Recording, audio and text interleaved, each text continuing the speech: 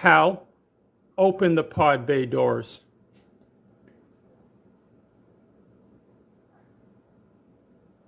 Hey guys, welcome back to the channel and today we're going to take a look at external radio modules for our Flipper Zero.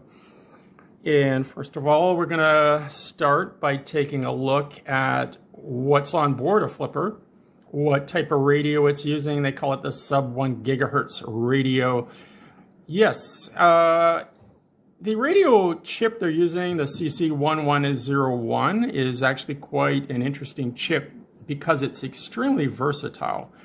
Um, not only does it do many different modes of modulation, uh, it also has a very wide uh, operating frequency range from 300 megahertz all the way up to 1000 megahertz, or which is 1 gigahertz, and hence the name sub 1 gigahertz. I actually like to call it a UHF radio because it's operating in the ultra high frequency or UHF band.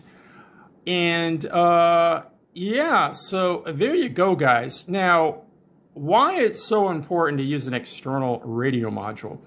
The Flipper is a very cute design, but it also had to meet FCC approval, which it actually has, believe it or not when it operates on just 433 or these license-free remote control uh, frequencies. Now, the internal antenna would be resonant or centered on 433 megahertz, which is what they actually post right there. As you drift away to a higher or lower frequency from 433, the antenna is not going to become, uh, it's not going to be very sensitive. It's not also not going to not, not actually good to transmit a, say, 900 megahertz uh, frequency into that antenna. You're probably going to have a really bad SWR, a lot of reflected power, and you can actually damage the radio internally by doing that. So what do we do? Well, thanks to the GPIOs on your flipper, we can go to external radio modules, which actually use the exact same chip. There it is there, that square chip in the, in, in the center of that circuit board. Now, what's really cool about these external radios is they're really easy to get and really, really cheap. This is $10 on Amazon, this whole thing with the antenna. Of course, the antenna that it comes with is centered also at 433, but you can connect other antennas because now we have an SMA connector which is a universal connector for radio, high frequency radio connections. And uh, so what I got here, this is the one off of Amazon. Here's another one off of Amazon, that uh, the same one. And I just wired up seven wires. I plugged those into my GPIOs and I'll show you later. This is working, uh, working great. Now, the first one I bought was this one, and I bought it online from a company in Germany and they call themselves your EUR design. Uh, they call it a booster. It's actually not a proper name for this because it's it's not an amplifier. It's not boosting. The boost is coming from your bigger antenna, your higher gain antenna. Now, basically what they've done is that they've just gone on Amazon and they've bought that blue, you know, they bought the radio module and they made a little interface circuit board of their own, which they've stamped their name all over. And they also printed a very nice little 3D printed case, which is kind of cool. Nice orange. Looks nice on the flipper and whatever. But uh, I actually, I give them a, a D minus on their design, on their circuit board design, because there is absolute major flaw. Um, okay, this pin here, the very last pin, that one, is 5 volts. And if you look closely in there, I'll try to get this to focus. That 5 volt pin is touching the ground of this SMA connector. And this flexes up and down. See that? It, you know, and see how that's moving a bit? So what happened was I first installed this on my flipper when I first got it and the flipper kept rebooting and i was like going like what is going on with my flipper rebooting, it's it's not liking this this radio module. That's what I thought. Like it's crashing, causing it to reboot. And then I noticed whenever I kind of touch the antenna, the flipper would reboot. And that's when I I took a closer look at the thing and I realized, you know, that's five volts and that's that's ground and it, it's shorting it out. So, and here's what else got me about these guys let's go over and look at their site here. Um, here, here's their site. I, am not endorsing them. I, I, paid for this myself. They didn't send this to me. But uh, when you go down here, was right here. Let's start that up again. It shows to turn the 5 volts on, even though they don't use 5 volts. It's actually using the 3 volts. So yeah, kind of strange. Anyways, enough of that. The radio works. If you want to go out and buy one from them for $50, go right ahead. But I would turn the 5 volts off and also you might even want to cut that last pin off just so you don't short your flipper because shorting the 5 volts rail on your flipper is actually a really bad thing. That could actually damage your flipper. So that's why I give them a D minus. I wasn't happy with the design. It's just anybody that designs something that bad with a shortened power route, power to ground uh, that easily, I mean, like, just come on, guys. Like, use your head. I mean, anybody that has any design sense should know better than that. Okay. Anyways, enough of that.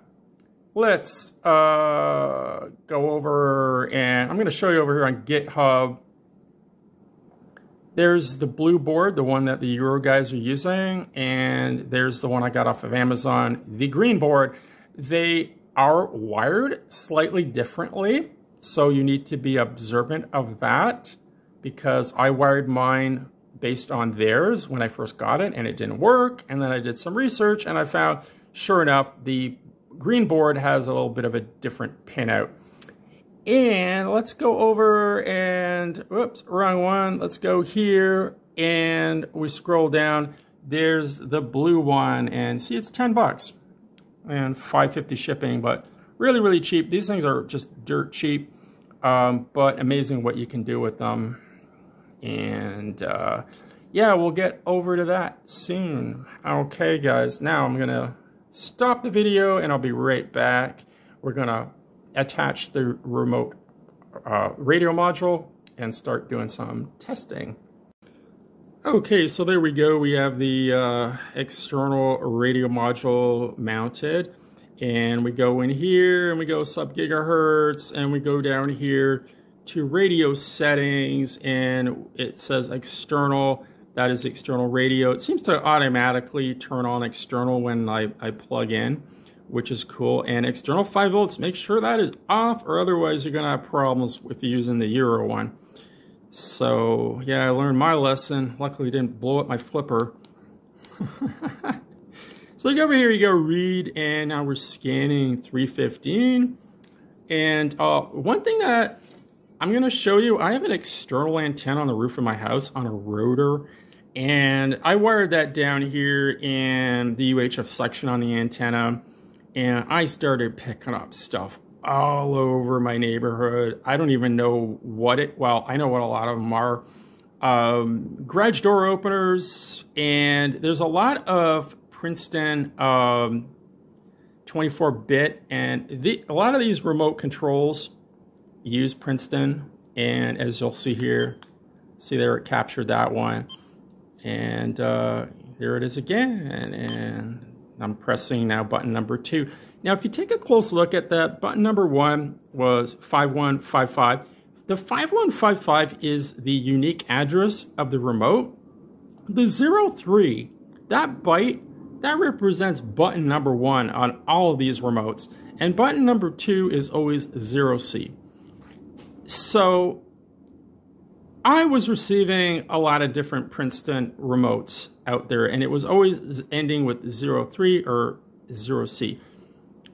So I realized that the 03 is on and the 0C is the off button on the two button remotes. So if you capture um, you can edit these files. You can go in, you can take the memory card out of your flipper and you can actually edit these files. So if you were to capture, say, a particular address and you wanted to um, send an off command instead of an off on command or vice versa, you could just go in there and modify the 03 to 0C and send it back and you would be turning off whatever we received that was turning on. Now, here's where things get really interesting. Uh, gas station signs, okay, use Princeton 24-bit. And there's the remote they use. Okay, now they talk about the code. See that code up there, the 20110120. Like, what the heck does that mean? And you go over here, and it shows the circuit board of the gas station remote. And there it is, the 20110120. And it's just like, okay. And then there it shows the receiver. You have to set those, they, they solder them in.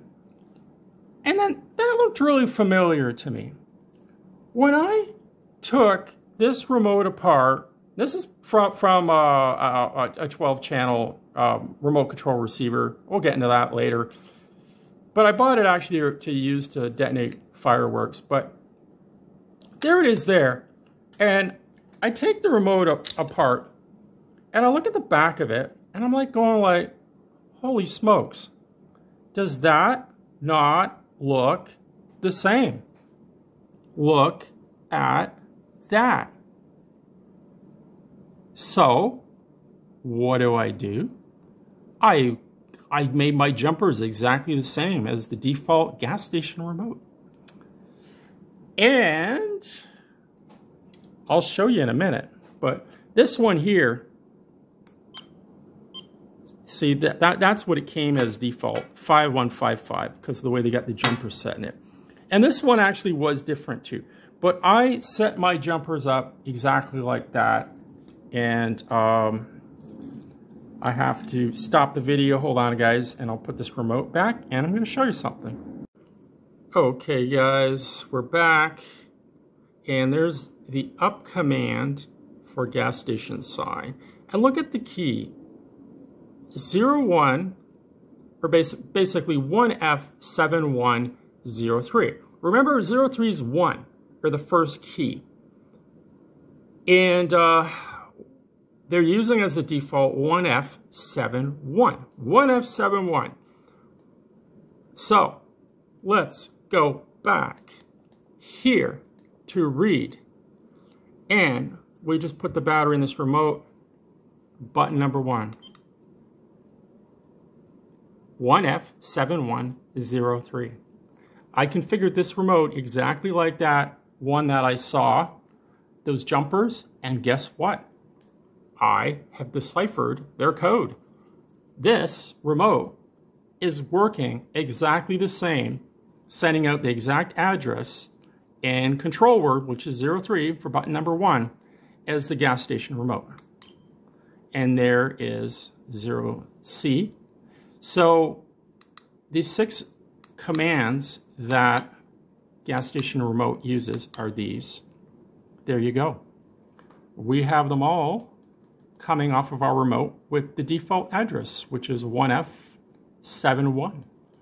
So yeah, guys, this, this, now, you don't need a flipper.